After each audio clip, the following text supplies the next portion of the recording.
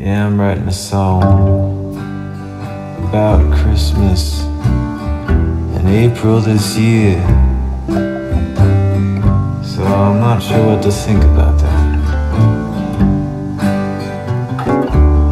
And I'm hoping these words don't ring so hollow when you hear me say Merry Christmas and "Happy New Year."